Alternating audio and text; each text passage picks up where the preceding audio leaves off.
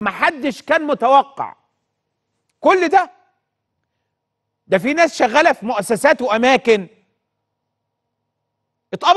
اتجابوا محمود عزت اتكلم عنهم عن اتصالاته بيهم واتجابوا واتقبض عليهم والنيابة حبستهم الأيام اللي فاتت نيابة أمن الدولة. هتعرفوا الحواديت دي بعد شوية. قبض محمود عزت ضربة محمود عزت عاملة عاملة مش عاملة انقسام. عاملة مشكلة رهيبة جوه التنظيم جوه وبره. كل واحد تاني بقول محمود عزت شبكة اتصالاته كلها كلها جوه وبره. تحت ايديك تحت ايديك. حركة تمويل التنظيم جوه وبره تحت ايديك.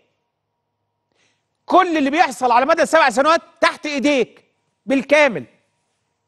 مش هقول لك قبل لا ما بعد 2013 ما بعد الثورة.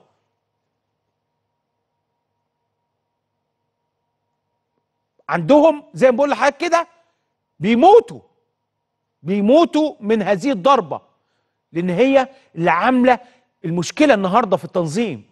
عشان كده النهارده إبراهيم منير لا محمود عزت مش موجود منصبه أصلا لغيته خلاص. طلع محمود حسين رد شاتم إبراهيم شت... بيشتموا بعض. شتيمة. بيفضحوا بعض بيتكلموا على فلوس بيتكلموا على سرقات بيتكلموا على خيانة. تاني بيتكلموا على خيانة. ده اللي وصيهم هو عايز طبعا كل اللي, اللي أنا بقوله لك ده مش عايز حد يبقى عشان إحنا يا جماعة عايزين عشان يرجع. لا الشعب المصري هيربيك. الشعب الم... تاني الشعب هيربيك.